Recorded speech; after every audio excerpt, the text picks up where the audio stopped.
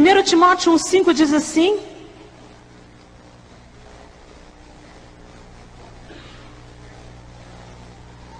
Ora, o intuito da presente admoestação visa ao amor que procede de coração puro e de consciência boa e de fé sem hipocrisia. O que, que Paulo estava querendo dizer nessa carta aos Timóteos? Que uma pessoa de caráter cristão é amorosa, tem uma consciência limpa e possui um relacionamento autêntico com o Senhor. Esses são indicadores do caráter cristão. Interessante esse último tópico. Possui um relacionamento autêntico com o Senhor. Então vocês veem que inevitavelmente, inevitavelmente, uma coisa está atrelada à outra. Não tem jeito de você ser santificado se não for pela sua comunhão com Deus, pelo seu caminhar com Ele.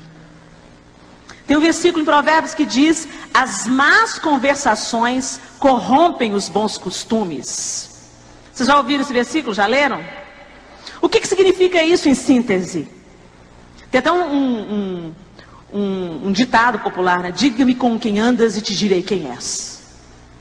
Porque é inevitável, quando você anda com uma pessoa, você comunga com ela, você está com ela, você come com ela, você viaja com ela, inevitavelmente vocês vão assimilando coisas uns dos outros, coisas boas e coisas ruins. Então não tem jeito, se você anda em intimidade com o Senhor, você vai sendo transformado de fé em fé, de glória em glória, conforme o caráter de Cristo. Não tem como você alcançar um nível de santidade se você não para diante de Deus. Impossível. Você vai se esforçar, se esforçar, se esforçar. Você vai tentar ser santo à sua maneira, mas na primeira prova você vai ser reprovado, porque você está se movendo sobre as suas próprias pernas, diante das suas próprias forças. É por isso que a gente se frustra tanto, tantas vezes. Não é verdade? Não, Helena, mas eu tento. Esse que é o defeito, você está tentando. Caminha com Jesus. Ande com Ele, pense como Ele, fale como Ele, olhe como Ele. Receba a sua influência quando você é exposto à presença de Deus todos os dias. É impossível você ser a mesma pessoa.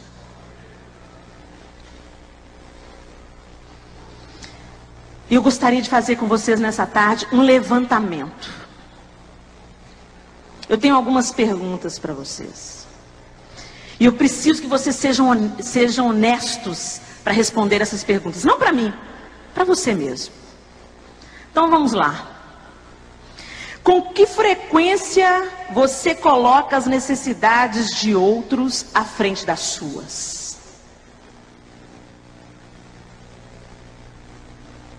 Com que frequência você pensa no outro antes de pensar em si mesmo? É sempre? É de vez em quando? Nunca?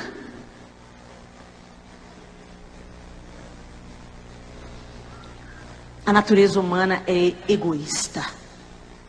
Nós pensamos em nós mesmos e nos nossos primeiro. É sempre?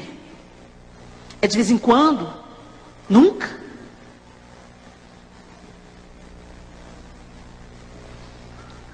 A natureza humana é egoísta. Nós pensamos em nós mesmos e nos nossos primeiro. Isso é a natureza humana. Todo mundo é assim, gente. Eu sou assim. Vocês são assim. Esse é o homem natural. Mas o homem espiritual tem uma outra visão. Ele pensa no outro com o mesmo cuidado e o mesmo carinho que pensa em si. Vocês já pensaram se o mundo fosse assim? Se as pessoas tratassem as outras como gostariam de ser tratadas? Se a, as pessoas priorizassem o outro Imagina. Agora, um mundo perdido, não adianta a gente esperar que eles sejam assim. Mas você é salvo. Você é salvo, você foi chamado para ser sal, para ser luz. Nadar contra a correnteza. Nadar contra a correnteza. A correnteza diz: é eu por mim mesmo e Deus por todo mundo. E olha lá se crê em Deus. Eu primeiro, eu no centro. Eu tenho que gostar de mim, senão quem vai gostar? Eu, eu, eu, eu. O que eu quero, o que eu penso, o que eu gosto de fazer, o que me dá prazer. Eu. Mas nós, como igreja, temos que nadar contra a correnteza. O outro primeiro, o perdido primeiro, meu irmão primeiro, o outro primeiro.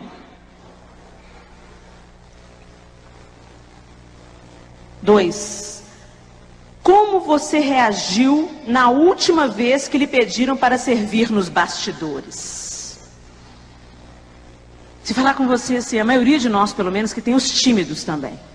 Mas a maioria de nós, falar, vai lá na frente cantar uma música. Vai lá na frente fazer uma oração. Todos nós, no fundo, no fundo, gostamos, precisamos de ser queridos, ser aceitos. A gente quer ser visto. A gente quer ser elogiado, quer ser aplaudido. Aí quando chega alguém e fala assim, olha, você vai fazer o seguinte, você é intercessor, tá? Nesse congresso. Você vai ficar lá atrás do palco, virado para a parede, onde ninguém te vê, e vai orar a reunião inteira. Como você reagiria? Se você falar isso para o intercessor, ele vai achar o maior barato. Yeah, vou lá, Deus vai fazer grandes coisas. Mas fala isso para um cantor ou para um músico? Escuta aqui, meu querido, me dá sua guitarra aqui e vai lá, esconde atrás do pano, tá? Nós vamos gravar um DVD, mas você não vai aparecer no DVD. Ah, mas isso não acontece não, Helena. Acontece, aconteceu comigo. No Diante do Trono é o seguinte, quem fica nas beiradas quase não aparece no vídeo. Todo mundo quer ficar atrás da Ana Paula. Ninguém fala isso. Eles confessam lá os pecados, nós confessamos os nossos pecados diante de Deus. Mas vamos abrir a caixa de ferramenta aqui. Aí vem a Ana e faz a formação. Se é a Ana, todo mundo obedece caladinho. Se não é a Ana, começa. Ah, não, mas por que, que fulano vai ficar aí? Deixa eu ficar aqui. Eu sou mais expressiva. Não, mas a roupa de fulano está tá muito parecida com a minha, a gente tem que ficar longe. E aí a gente vai sendo provado. Eu tinha essa motivação no meu coração. Aí eu queria ficar lá no vídeo, aparecer no vídeo.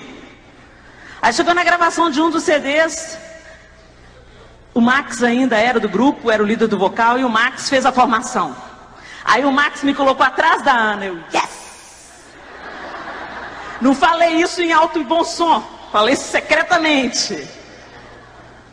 E aí, Ana Paula virou pro Max, Sou Max, por que, que você está deixando a Helena aqui? Aí o Max, e eu escutando a conversa dos dois. Aí o Max, não, porque a Helena é muito expressiva, Ana. Não, a Helena viaja muito na maionese. Põe ela na beirada.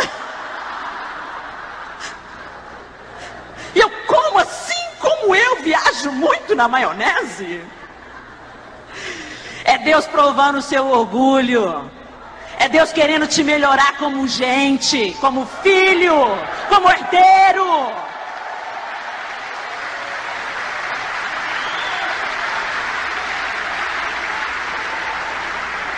Se ele está te apertando, é porque ele ainda acredita que sai caldo bom de você.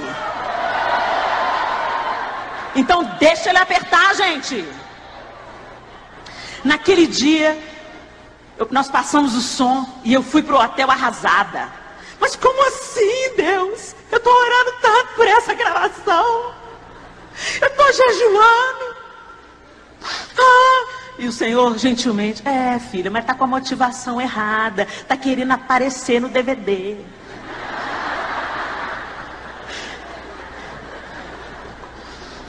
E assim foi por alguns CDs, viu, gente?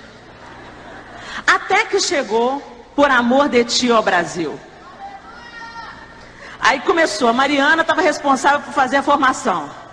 A Mariana deve ter feito umas 10 formações diferentes. E sempre tinha um reclamando. Até eu comecei a sugerir, ô Mari, a gente podia fazer assim, mas quando eu vi que o negócio estava fervendo, eu pego e falei, Deus, deixa eu calar minha boca, fica na minha. Não precisa de mais ideias. Tem muitos criativos aqui junto, vai se resolver. E a Ana veio, e o Robinho veio, todo mundo dando sugestão. Helena, fica aqui na frente. Helena, vai lá para trás.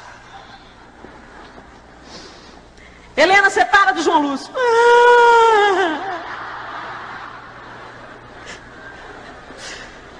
Eu falei assim, mas eu vou obedecer. Já fui provada. Já caí em outras pedras. Já entrei em outros buracos. Nesse eu não entro. Eu vim aqui para adorar a Deus, nem que seja lá atrás do painel de LED virado para a parede.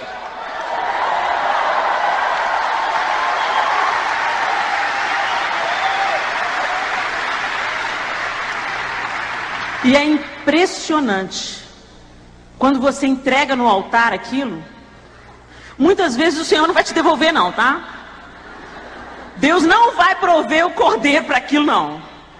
O Isaac tem que morrer mesmo. Mas naquela situação, eu me desconectei. Falei assim, eu não vou ficar tribulada com isso. Oh, e eu comecei a orar ali. E eles mudando para cá, mudando para lá. O pastor André até falou assim, Mariana, ah, eu não vou trocar mais não, não é possível, eu já mudei não sei quantas vezes de lugar. Vocês não chegam numa conclusão. E eu falei assim, ó oh, Deus, vai ser do jeito que o Senhor quiser, Senhor.